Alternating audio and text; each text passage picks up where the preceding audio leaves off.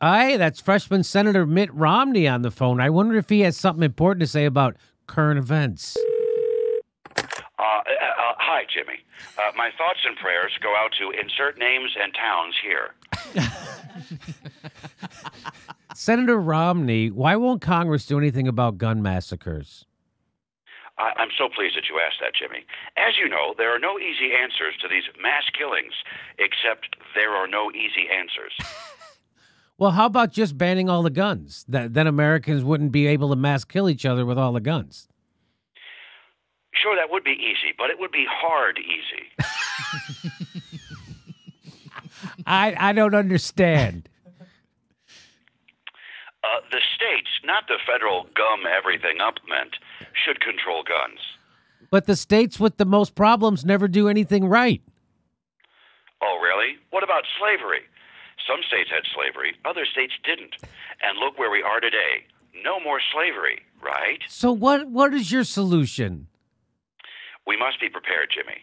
When the bad guys with guns come for you and your loved ones, you must be prepared. How?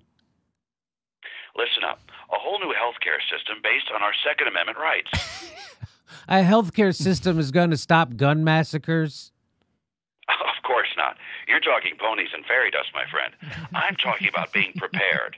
And what better way to protect your loved ones than mass shooting insurance? Mass shooting insurance? I'm glad you asked, Jimmy. You see, with my mass shooting insurance, you can get coverage for any kind of Second Amendment happening. Managed by Mutual of Oh My God, Everybody Run, my insurance would cover any type of shooting, even pre existing shootings. What, what what do you call your insurance? I hope it's not something stupid like Romney Care.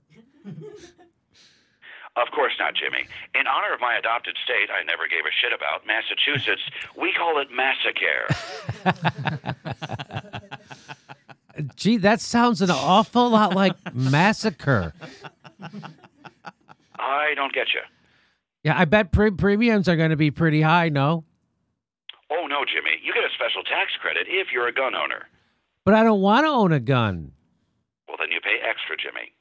And what if I don't want your stupid insurance? Oh, you have to get it, Jimmy. Otherwise, you're part of the problem. We have to put you in the high risk pool along with Negroes, Mexicans, and homos who pay extra since they have a higher risk. Ma- eh, You mean a mandate? Even better, a white mandate. How how is this better than Medicare for all, Mitt? Well, for starters, Buster Brown, it's not all angry like Bernie Sanders. He's all hat and no cattle. And what what the hell does that mean? 28 years in Congress, and he's never been able to pass a, even a scintilla, excuse my language, of his socialist agenda. Well, what about forcing Obama to include $100 million for community health centers in the Affordable Care Act? That's all whiz and no sniz, Jimmy. What about banning the imp- importation of goods made with child labor? All poppy and no cock. What about passing a Senate resolution to end our war in Yemen? That's all crap and no corn, Jimmy. You want me to you want me to explain that one? No, no, thank you. Okay, well maybe next time. Our next live Jimmy Dore show is August 24th in Denver, Colorado. Then we're going to San Francisco, Seattle, Baltimore, and Honolulu for Christmas. Go to jimmydorecomedy.com for a link for all tickets. And if you'd like to support the show, that's how we do this. Become a premium member or a Patreon or a Patreon patron. We give you hours of bonus material every week. Thanks for your support.